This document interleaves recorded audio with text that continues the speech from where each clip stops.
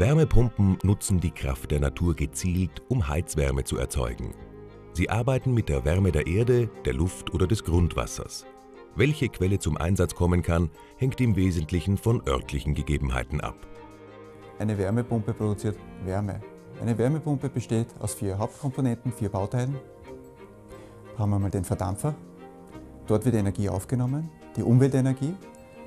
Hier drinnen fließt ein Kältemittel, das verdampft bei sehr geringer Temperatur, nimmt Energie also von der Umwelt auf.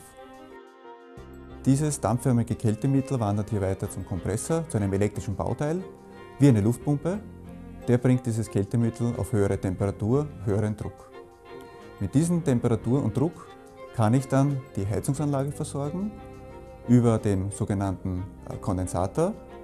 Dort wird das Kältemittel vom dampfförmigen äh, Zustand wieder umgewandelt in den flüssigen Zustand, indem es Energie abgibt.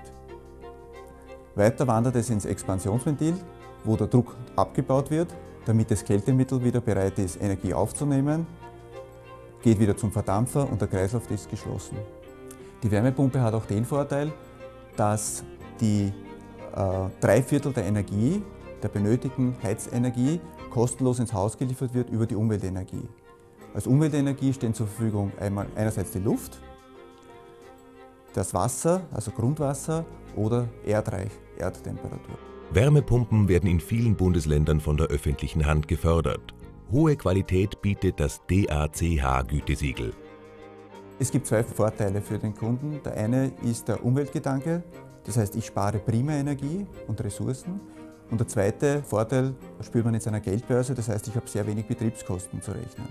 Ihr zertifizierter Wärmepumpeninstallateur hat alle Informationen parat.